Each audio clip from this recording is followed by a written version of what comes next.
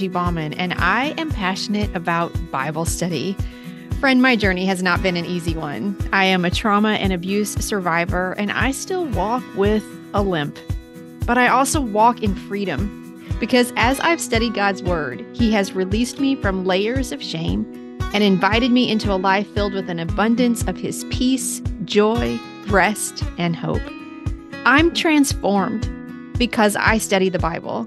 And my heart's desire is to create offerings that help you get and stay in your Bible so you experience that transformation too. So, thank you for spending a few minutes with me. Maybe it's as you enjoy your coffee, or with pen and notebook ready, or you're driving to work or walking the dog from wherever you are in your day.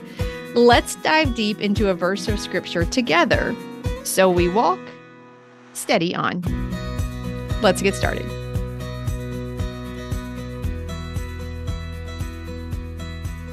Welcome, friend. Today we're going to talk about how the Holy Spirit is a helper, and we're going to do that by unpacking John 15 26 using my step by step method. Step by step is an inductive Bible study tool that focuses on one word in one verse of scripture to find life application. And if you would like to study along with us today, you will find links to a study sheet and the step by step masterclass in today's show notes. And my dear friend Susie Crosby is back with us today, and I always look forward to studying with you, Susie. Thank you for being here once again. Thank you for having me, Angie. Love it, love it, love it. So, John 15 26 in the Easy English Bible. This is the first time I've ever used this translation for something, but I loved it for what we're doing today. John 15 26 says this When I return to my Father, I will send the Helper to you. So, before we dive in, just a little bit about Pentecost Sunday, because we're celebrating Pentecost Sunday this week on the Christian calendar. It falls on May 19. Pentecost was an annual harvest festival that occurred 50 days after Passover. The Greek word Pentecosto is uh, means 50. It became an important Christian holiday after God poured out the Holy Spirit upon the Jerusalem church on the first Pentecost after Christ's resurrection. And we find that in Acts chapter 2.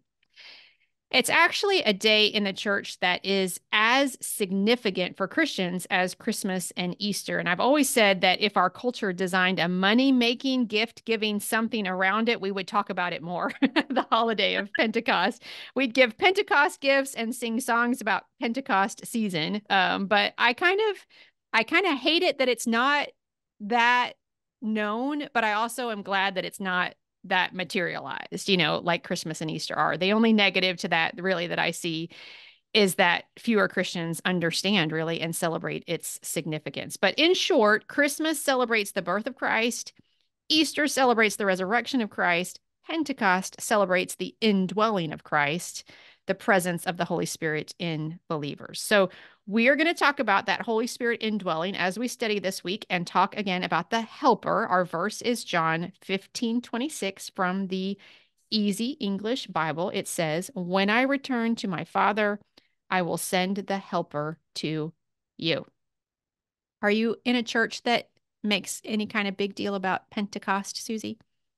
Yes, but um, I still admit I have a lot to learn mm. about. Oh, yeah. I well, feel like that's sort of been uh, my story, I really a lot of the churches I've been in have said, "Oh, it's Pentecost Sunday" as a kind of a casual mention, but mm-hmm. don't really um, feel like I've learned a ton. Yeah, yeah, I yeah, I appreciate that. Actually, I think a lot of churches have really gotten away from uh, emphasizing the Christian calendar. That's one of the reasons that I kind of like to do this, what I call light education on the Christian calendar, because it's so, for me, it's so important it matches or models itself after the feasts and festivals that are in the Old Testament. And it's just this rhythm, this ritual that continually calls us back into connection with Him.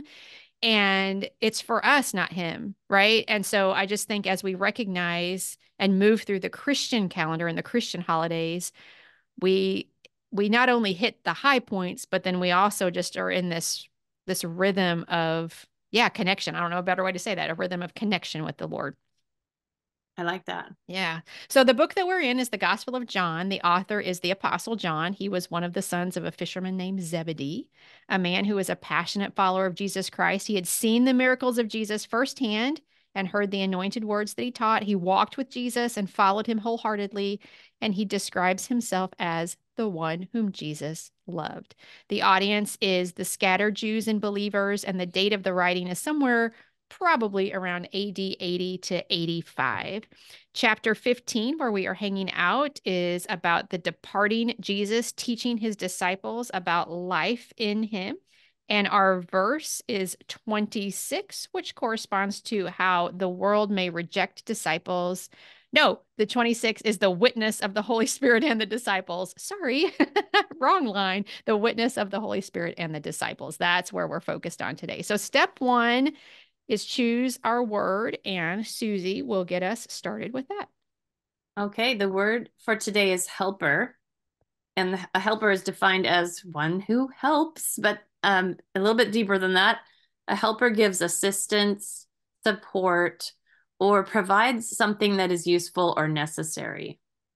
Um, a helper also improves, relieves, rescues, saves, and benefits hmm. the recipient of the help.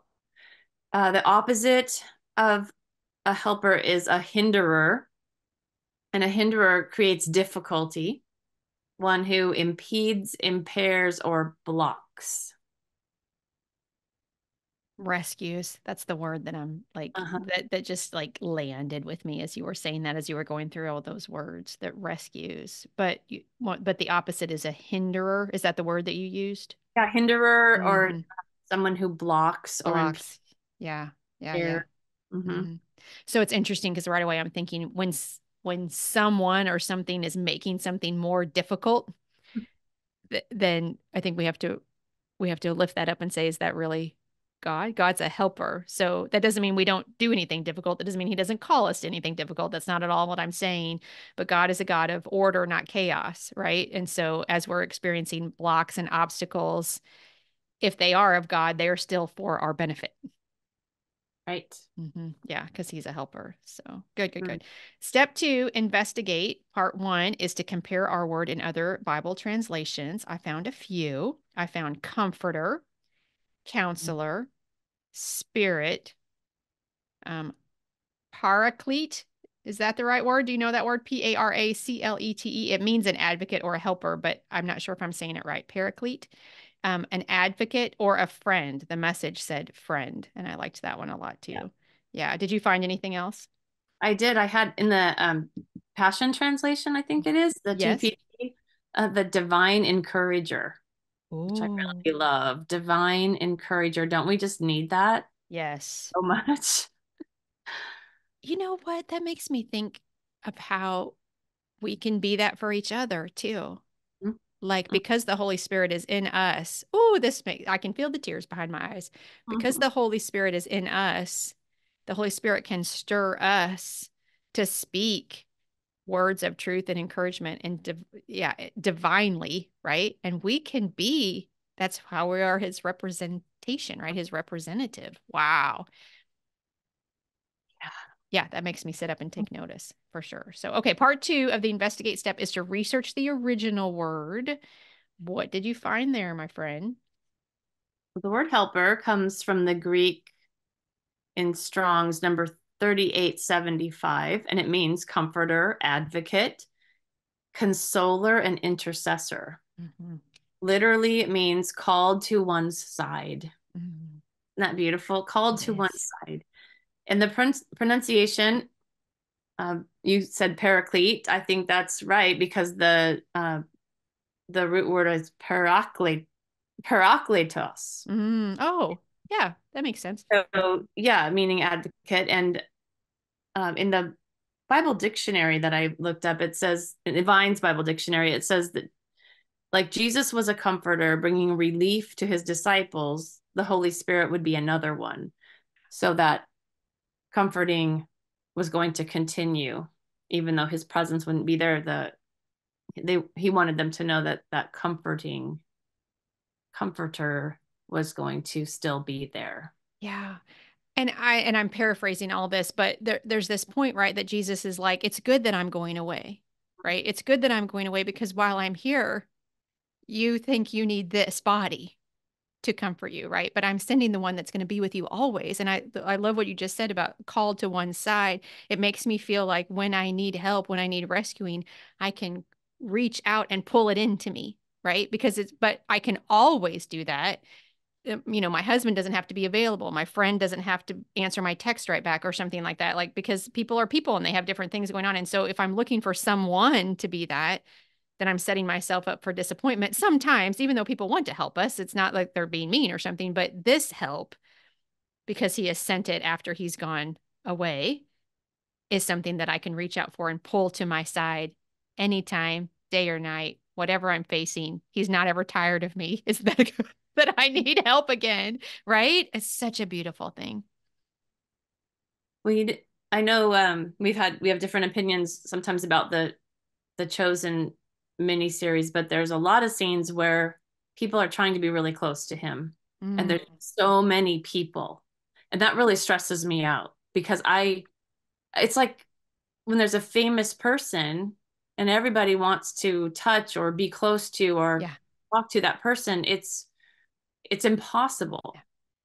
And it, and he was human, when he was human, it was impossible for everyone to get as close to him as they wanted to be. And I sometimes I feel like it's almost that competitive, you know, like we're going to get to heaven. Are we all going to be just clamoring to like, can I be? But we don't have to because he gave us each that he's giving us each that little part of himself to always be with us. I love and so that's what's happening here. Yeah. And we don't, it's, and it is good for us that he's not here because we wouldn't, I, I think, I'm interested what you think about this. We wouldn't lean on something invisible if we had the opportunity to cling to something tangible, right? Exactly. Yeah. Mm-hmm. Exactly. It's for us that he's gone away, which is, I think, what he's trying to tell his disciples. It's for you that I'm going away because you need this with you always. And this is actually going to be better for you. Mm-hmm. Ugh. Yeah. He's helping us have a helper. oh, part three in the investigate step is to read some commentary. And I have a couple of notes here from the enduring word. It says Jesus previously spoke of sending uh, of the sending of the helper. The departing Jesus knew the disciples would need the presence and the power of the Holy Spirit to face the opposition the world would bring. He knows we need rescuing, right? He knows he he knows we need help. He knows it's tough here. He knows it is. I I believe that that's one of the reasons that don't be afraid is in the Bible as many times it is because he knows it's scary he knows we're going to be afraid, right? So he's just like, let me remind you. Uh, the uh, the Faithlife Study Bible said the Spirit as God's means of communication on earth, instructs believers and leads them to follow God's will. The Spirit gives them access to God, His plans, and His wisdom. He can do so because of Jesus' sacrifice for sins. It's crazy to think that when we like open our hands to God's leading, complicated things become uncomplicated and his plans do become clear. Like he will he wants to give us what he has for us. Like he doesn't want us to wander around in the dark. And that doesn't mean we understand the whole thing dang it. Like sometimes he doesn't give us very many steps at a time. I know that's frustrating friend but I, but it really he will show us the next step to take um, he will give us his wisdom and we'll know what to do J. Martin C. Scott says the purpose of the Spirit's coming is not merely to remind the disciples, but to give evidence concerning Jesus. The language is juridical. Juridical? Is that the right way to say this? And this becomes clearer with the call for the disciples, too, to stand as witnesses. They will be able to do so through the presence of the Spirit, but also because they've accompanied Jesus throughout the ministry. At this point, it is especially important to remember that the whole purpose of witness is to bring others to an encounter with Jesus and so to faith. When this takes place, the reader, as believer, is drawn into the circle of those who have been with Jesus from the beginning. That's so interesting because the Holy Spirit, as He is with us always, He helps us know how to represent Him, as we were just talking about, like the divine encourager, right? Like we can be the divine encourager because we've walked with Jesus, like not as the apostles who walked with Him humanly, but because Jesus is in us and the Helper is with us if we've taken time to get to know that helper, then we can respond to whatever's in front of us in a way that indicates we know him. Right? Mm. Oh. Yeah, and when when Jesus prayed a couple chapters later when he prays for the disciples before he's leaving, he says, I'm not praying just for these, but for those who will yes. come to me because of them. And so we're already included in this. Yes. Whole plan. He's already got us in mind to be recipients of this. And it's perpetual, right? Like I'm not just praying for them, but the ones who will come to me because of them. Again, I'm and but then but then the one but if we're the ones that came because of them then there are people that are still coming because of them because we're helping people come you know like it's this this ongoing perpetual thing that the helper helps people come to him and he for whatever reason that i will not understand allows us to partner with him in doing so. Yes. Mm-hmm. yeah. Yeah. One more commentary note that just kind of sums it all up. This is andreas Köstenberger, I believe that's how you say this name. The Spirit replaces Jesus's physical presence by permanently indwelling his followers. Mm. Yeah, it's just, it's what we have always. And you can't get it out. you can ignore it, you can silence it, you can try all kinds of things to make it be quiet or go away, but you once it's in, you can't get it out. That is a good point. I like, I like knowing that. So part four in the investigate step is to try to rewrite the verse. I'm going to read it again in the original. This is from the Easy English Bible. When I return to my father, I will send the helper to you. Susie, what'd you do with that? I wrote, I'm returning to my father, but this is not the end of our relationship. We will send you our comforting spirit of truth to help you with everything and anything you need. Anything and everything, right? Yeah, so good. So good. All right, step three is find the characteristics of God. And I put power, that Christ's power lives in me. That's an important one for me. That's a verse that I return to a lot in Romans. I can never remember exactly where it is, where it talks about the same spirit that rose Jesus from the dead lives in you. And that's important to me. I think now I'm pausing. Is that Rome? I think it's Romans. Uh, that's important to me. I think because there were times in my life that I have felt and still do feel powerless when I'm depending on myself or when I'm allowing the world to tell me who I am or I'm finding my identity in something in the world. I feel very small and powerless. But when I remember that because he is in me and I am in him and all that he promises, then I am not powerful as a human and yet I you know I have the faith that can move mountains. It says so in scripture, right? And so that's just one of the things that knowing that helper is with me constantly. I'm like, you don't have to know how to be powerful. He is powerful and he is in you. So therefore, his power is in you. Yeah. Yeah. And then I also put no favoritism because the Holy Spirit is offered to all who believe. That's good. I think that's good too. It's so important to remember. I love how we come up with different such I do different- too. What did you find? I'm always like, oh yeah when you come up with yours, I wrote uh, faithful, sure, attentive, oh, and omnipresent. Yeah, he's everywhere, all the time. You know, yeah, which is so hard to understand, but so amazing. Yeah, yeah. so good. Well, move us into step four, which is identify the lie. And we do this if you happen to be new to step by step. Uh, we do this part, step four, identify the lie, because it helps us understand what we might be tempted to believe that's this half truth that the enemy uses to move us away from aligning our hearts with the promises of God. And so, if we can find it and call it out, like what makes this difficult to believe or difficult to live out, if we can call it out, then we can replace it with the truth. So, for you, Susie, what's something to be aware of? This has been a this is a tough exercise for me always because um, it brings up a lot of emotion. And for me being abandoned is probably my biggest fear and my worst mm. trauma. And uh, this lie that i believe when i think about this is i'm on my own and jesus leaves me too. Jesus leaves me too. There he goes. And uh, yeah I thank you for being brave and saying that out loud. I think we can all relate to that because when our heart is broken, whatever that looks like in our life, if you loved me, you wouldn't have let this happen. I think is such a I think that is an essential faith question to wrestle with. Mm-hmm. I think all of us at some point have to wrestle with this feeling of I feel like you let me down and I I this is hard for me to understand and and I think we all have felt abandoned by God at some point in our relationship with him and in those moments of feeling abandoned by God we have this important hugely important decision to make. Will we ask the questions and let him minister to us let him help us through our pain whatever that is or will we walk away and hold up our hand and say I'm not going to love you anymore and yeah. And and how do we respond to that? So yeah, thanks for calling that out. The enemy wants us to believe that he has or will abandon us, right? Because ultimately the enemy's lie is be afraid.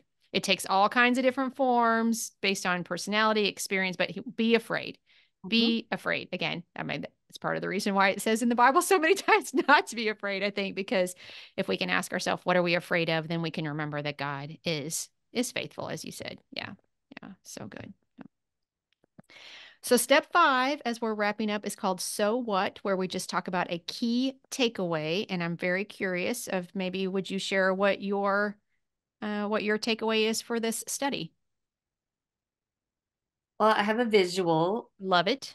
For you, for our listeners. Um, and it goes back to Genesis. This actually, I'm kind of taking this from a Bible study that we're working on at church, which has a lot to do about how Jesus prayed for the disciples in these very chapters right here in John. So this is by Kristi McLelland, and she talks about um, Jesus wanting his disciples to know that uh, he was not leaving them as orphans, that he was sending his spirit, and that um, in the beginning, very first verse of the Bible, it says, God created the heavens and the earth. Now the earth was formless and empty. Darkness covered the surface of the watery depths, and the Spirit of God was hovering over the surface of the waters. And she says that the word spirit in Hebrew is ruach, meaning breath, wind, and spirit. And that at the beginning of that story, the spirit was not only present, but it was actively doing something, it was hovering. Mm.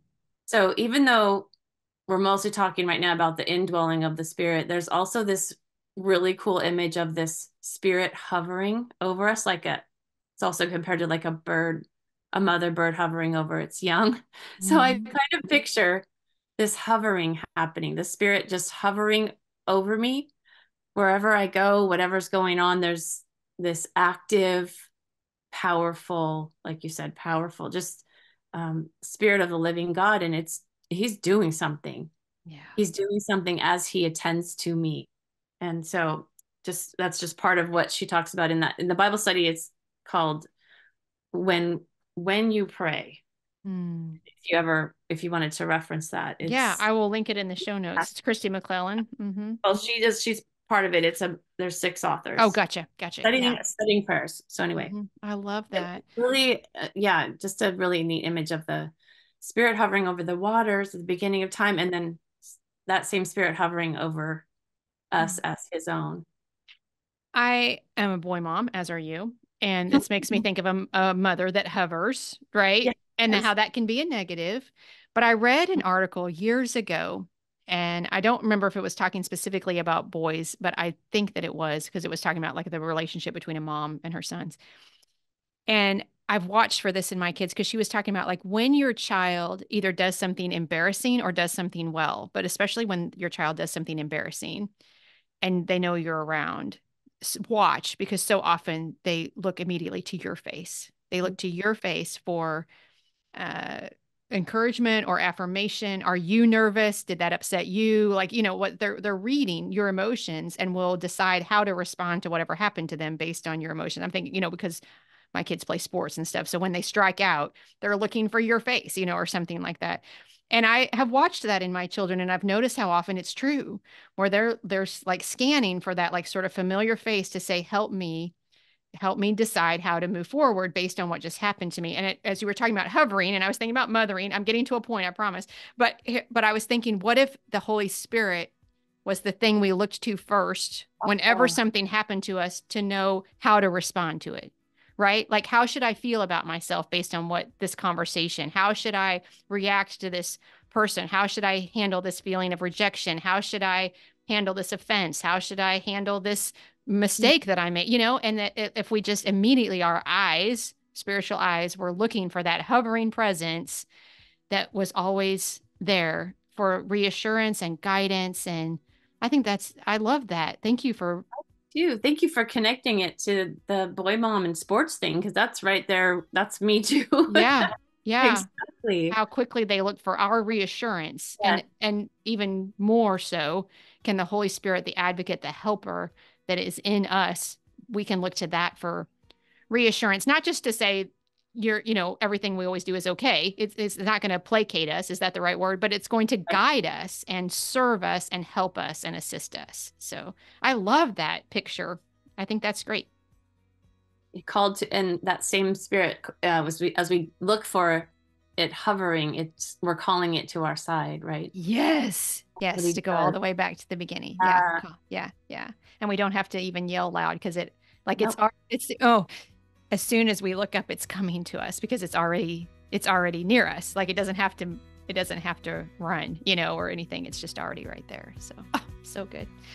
All right, friend. Well, we would love to hear your takeaway. If you have one, you can email me anytime at steadyonpodcast at gmail.com. If you have not yet, I would be so grateful if you would subscribe to the podcast on whatever directory you use to listen. It only takes a second and it guarantees you will receive every episode. If someone happened to come to mind today as you were listening, we would love it if you would share the episode out with them. Inviting them into what we're doing is another great way to support the show. And one more time, Susie, just thank you again for doing these with me. I always learn so much. I needed this today, Angie. Thank you so much. Agreed. I always feel so refreshed and just encouraged, and I feel lighter after we spend time like this in the Word. And so, friend, we hope that you feel the same way after listening. We hope that it's just been a blessing, something that really has been a divine encouragement, we hope, for your heart, right? And so, yeah. So, thank you once again for listening. I pray wherever your day takes you, you are walking in the confident knowledge that you are a beloved, cherished child of God. Peace.